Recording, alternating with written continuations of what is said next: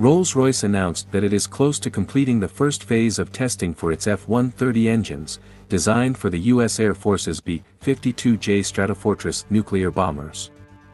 The company plans to conclude this phase by the end of 2023 and initiate flight tests in 2024.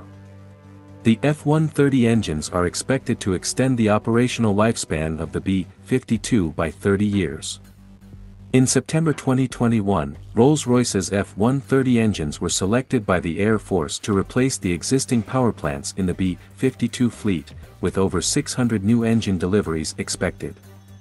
Testing has been conducted at NASA's Stennis Space Center in Mississippi.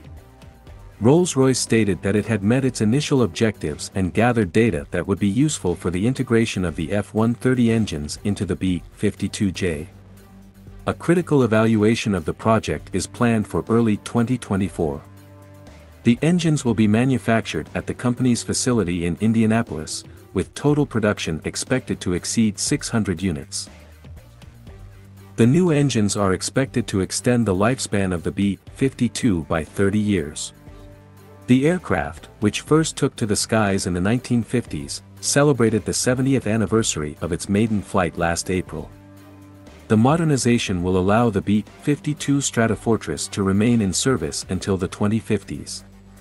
This engine is already in service with the U.S. Air Force, powering the C-37 and E-11 BACN aircraft.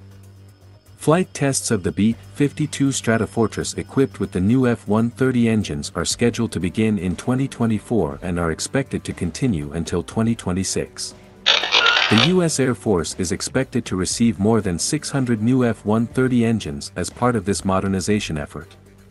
The current version of the aircraft is known as the B-52H.